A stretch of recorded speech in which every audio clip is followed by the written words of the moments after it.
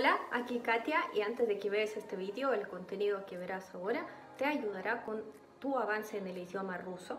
Pero si quieres participar de un evento más completo, con más información y que te permita acelerar tu ruso, tengo una invitación que quisiera hacerte. En la fecha que está apareciendo aquí abajo, voy a realizar un evento llamado la Semana del Ruso Acelerado. Este evento será 100% gratuito y te mostrará el paso a paso de lo que necesitas saber para poder hablar ruso con confianza en tan solo 6 meses.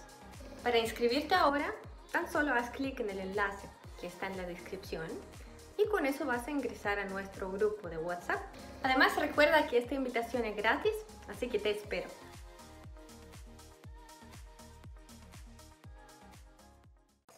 Continente, ¿cómo sería en ruso? continente. Ya tienen que pensar, ajá, al final tenemos una E, quizá la deberemos sacar. ¿sí? Continente. Continente, eso ya parece más ruso. Luego las O's no son tan fuertes. Tenemos el acento a la E al final, continente. Por eso yo cambio a continente. Continente. Pero todavía me suena extranjero.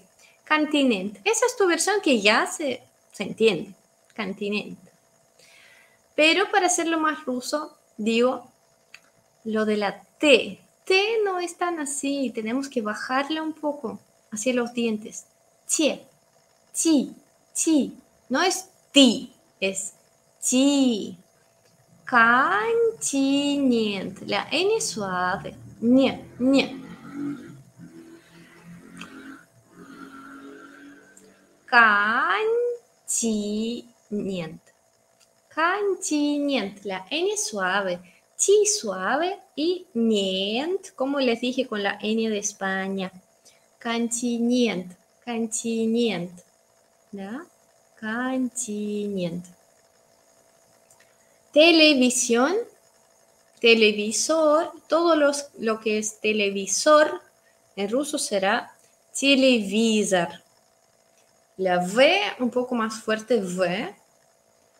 Z, otra vez tenemos sonora Z, no C, sino que Z. Televisor. Y OR no pronunciamos como televisor, o sea, no, decimos televisor como televisor, no. Ah, pronunciamos televisor, un poco A, televisor, televisor. ¿Sí? Televisor. Se dice sol. ¿Cómo se dice sol? ¿Quién sabe cómo decimos sol en ruso? Sol en ruso se dice sonce. Sonce. También tiene la L, pero no la leemos. Sonce. Sonce. Repiten conmigo. Sonce. Sonce.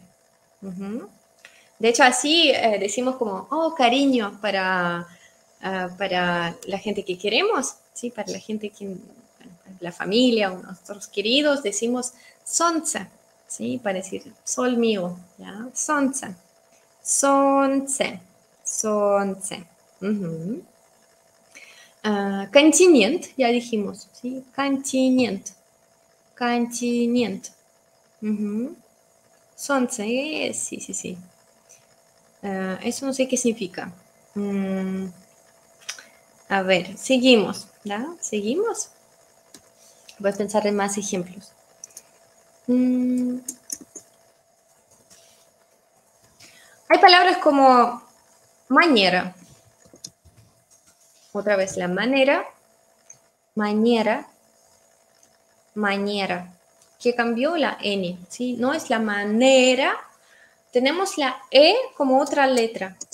¿sí? E, pero solo se usa para las palabras extranjeras mm, como bueno, hay muy pocas, como las que vienen de francés o algo así, o, bueno, un par de palabras nuestras, mm, como esta, esta, pero creo que tienen que ver con latín también, porque es justo este, esto, e, sí, en ruso, esto es eta, eta.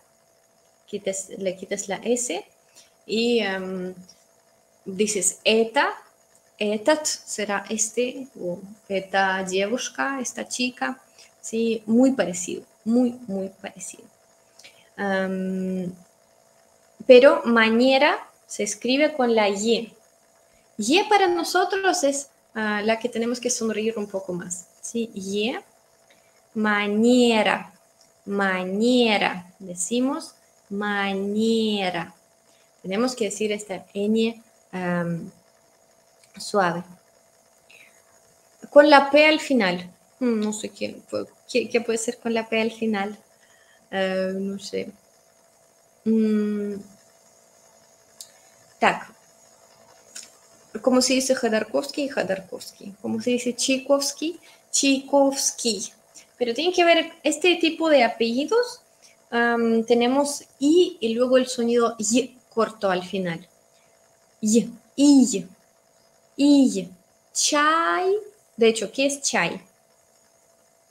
Como en chino o en indio, um, chai es té, chai. Chai, ¿da? Uh, Tchaikovsky, Tchaikovsky es nuestro compositor. Uh, Чебурашка, Чебурашка. Угу. Uh, té, да, это чай. Чай. Uh, café. es muy tonto porque en ruso decimos café para referirnos a una cafetería. ¿sí? Café en ruso es una cafetería y coche sería café como bebida. ¿sí? Coche es coche, chai, café, el té, coche, ¿da? Coche. Pero si dices café, si no puedes decir quieres tomar un café, literalmente sí, pues tienes que decir coche, porque si no, café es un lugar para comer. Filosofía tiene la misma lógica que geografía uh, y tenemos que cambiar el acento nada más. Filosofía, filosofía.